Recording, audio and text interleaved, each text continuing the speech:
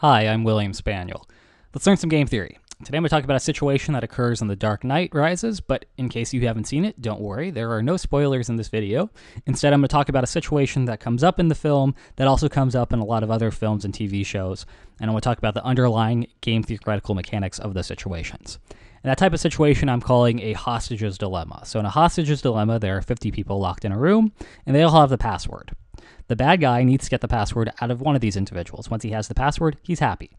So, one by one, the bad guy is going to ask for the password from a hostage. If the hostage squeals, the game ends because the bad guy gets the password.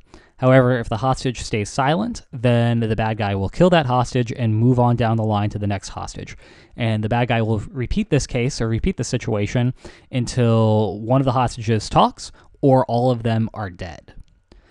Now, the hostages' payoffs look like this. There are going to be two different types of hostages. We have sacrificial types, which receive negative one from dying, and negative nine if the bad guy gets the password. So these guys really wanted to try to avoid having the bad guy get the password because that's the worst case situation for them. And the bad guy can do something really, really bad if he gets the password. And of course, they don't want to die either, so that's why they're getting a small negative payoff from dying, but it's worse if the bad guy gets the password and they, they just die. In contrast, we have selfish types, which receive negative one from dying and don't really care whether the bad guy gets the password or not. All these selfish guys care about is whether they survive. They're selfish. It's sort of the definition of the word. So to stack the deck against the bad guy getting the password, we're going to make it so that the sacrificial types are much more likely than the selfish types. So if you pull a random individual out of these hostages, that individual will be sacrificial 95% of the time and selfish 5% of the time. But that's true for all of the individuals, all 50 of them. So it's possible that all of the individuals are sacrificial, or it's possible that all of them are selfish, or anything in between. But because this probability is so much greater that the sacrificial, it's much more likely that all of them are going to be sacrificial than all of them are going to be selfish.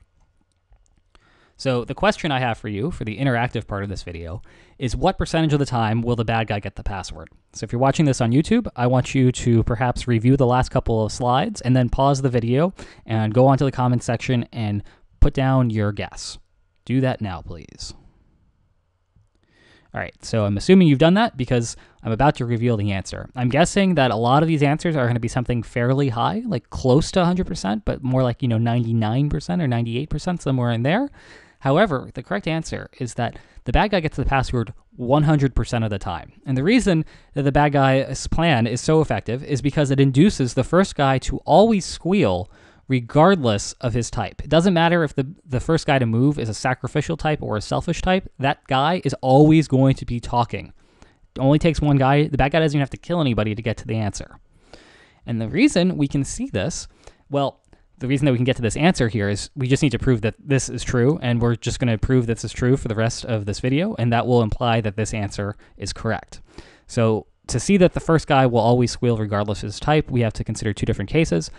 One, when this uh, first guy is selfish, and then the second case will be if the first guy is sacrificial. So think about this from the perspective of a selfish guy going first. Selfish guys have a strictly dominant strategy. They only care about survival. If they talk, they guarantee their survival and guarantee a, a payoff of zero. But if they remain silent, they die and receive negative one. This means everyone else's decision is irrelevant to them. They will always want to talk because the alternative is strictly worse. And so, done basically the selfish guys always talk, and so if a selfish guy begins the game, he talks and the game ends. So case one was really simple. Case two is going to be a little bit more difficult and a little bit more surprising that a sacrificial guy going first is still going to talk. Now, note that these sacrificial guys, unlike the selfish guys, don't have a strictly dominant strategy. If no one talks, sacrificial guys prefer dying and getting negative one to talking and getting negative nine. These sacrificial guys, we can think of them as being noble in that regard. However, the problem here is that it's very unlikely that no one will talk. And to see that, we need to think about the future. Selfish types always talk. They have that strictly dominant strategy, which we saw a couple slides ago. So, a best case scenario for a sacrificial guy going first, well, he can't control the selfish guys. He knows that the selfish guys are going to talk. And so, the best case scenario for him is that all remaining sacrificial types will remain silent. So, anyone who moves in the future who is a sacrificial type, his best case scenario as the guy going first is for the rest of these guys, these sacrificial types, to remain silent. So the probability no one talks, given this best case scenario, is the probability that all individuals after him are going to be sacrificial types who are remaining silent. So the probability that one of these guys is sacrificial is 0.95, and so the probability that all of them are sacrificial is 0.95 raised to the 49th power because there are 49 other guys remaining, and that comes out to about 0.08. So the probability someone talks is 1 minus that probability, or about 0.92. So the probability that someone talks because of these selfish types existing is is fairly high. It's going to be 0.92. So almost uh, 92% of the time, the someone in the future will be talking, and it's going to be one of these selfish types. So if you calculate this sacrificial guy going first, his expected utilities for keeping quiet and talking, well, starting with keeping quiet, 8% of the time, or about 8% of the time, no one else will talk. And so by not talking, by keeping quiet, this first hostage receives a payoff of negative one. And 92% of the time, someone will talk. And in that case, the first guy gets negative one for dying and negative nine for someone telling the bad guy the password. And so if you sum these two payoffs together, you get a, a payoff of about negative 0.928. That's his expected utility for keeping quiet. His expected utility for talking is negative 9 because that guarantees his survival. He doesn't get negative 1 for dying, but the bad guy gets the password, so he gets a payoff of negative 9. And lo and behold, if you compare these two payoffs here, well, the sacrificial guy going first actually earns more from talking than keeping quiet and getting negative 9.28. This 0.28 is the difference here. This makes this payoff worse than this payoff. And so the sacrificial guy going first is actually going to want to talk. And so that's the surprising result is that now we have shown that even in the best case scenario, the sacrificial guy going first should talk. So regardless of the type, regardless of whether the first guy is a sacrificial guy or a selfish guy, he talks. So what's going on here? Well, the reason that these sacrificial types are talking is because they don't have much faith in their comrades. They figure the bad guy is very likely to get the information anywhere, so they might as well talk to save themselves.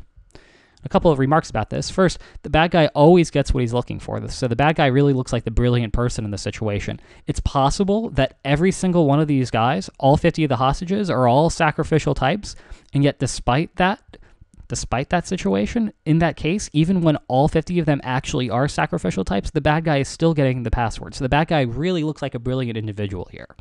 And the second thing that's worth noting is that just because someone talks doesn't make that person a bad person. He might just anticipate that someone else is a bad person, so he acts like one of them.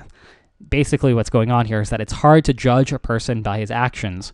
It might just be the other actions around him or the other actions that would happen around him that causes him to look like a bad person. So that's something to think about. I think the hostages, uh, the hostages dilemma is a pretty interesting game. I hope you thought so too, and I hope that the answer surprised you.